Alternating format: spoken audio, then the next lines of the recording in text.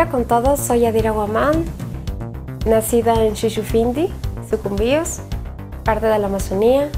Vengo a contarte un poco de mi historia. Cuando era niña crecí dentro de un entorno petrolero, el cual para mí era muy difícil, todo lo que yo miraba era negativo. Cuando venían a hacer sísmica, decía y me preguntaba que qué hacían ellos aquí, porque vienen a invadir mi espacio. Y es lo que muchos Muchas personas de la zona se preguntaban, se cuestionaban.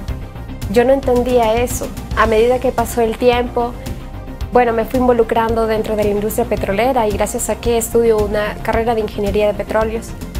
Esto, como lo veo ahora, es totalmente diferente.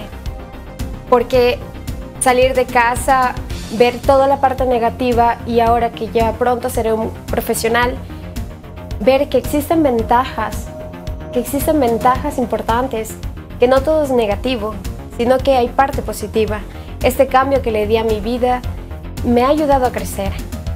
Y también les quiero contar que ser parte del grupo de voluntarios del Energy for Me también me ha permitido crecer.